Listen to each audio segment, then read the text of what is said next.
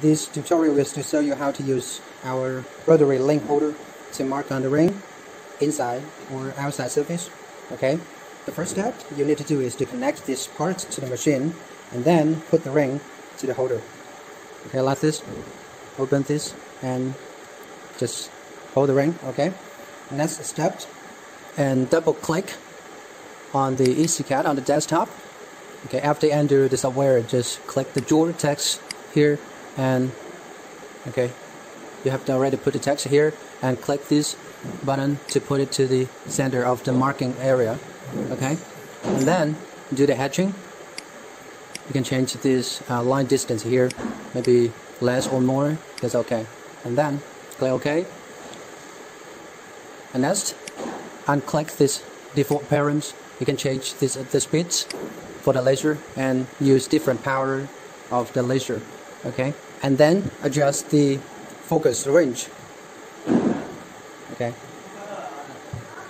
Like this because you want it marked inside of the ring then you will need to adjust this angle of this rotary head okay? And now you can see the red spots of the sensor inside of the ring okay? Just screw it up. Then use this focus function to adjust the focus itself. Or if, if you don't have the autofocus, just use this handlebar, make the laser head up or down to adjust the correct focus range. After that, and click the, the light button in the software to reveal the marking area. Now as you can see, this, this is where the text will be marked on. Okay, it's big.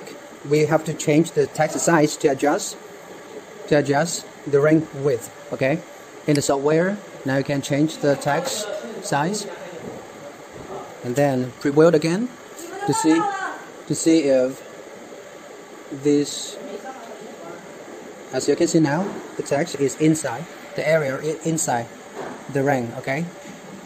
You have to do like this.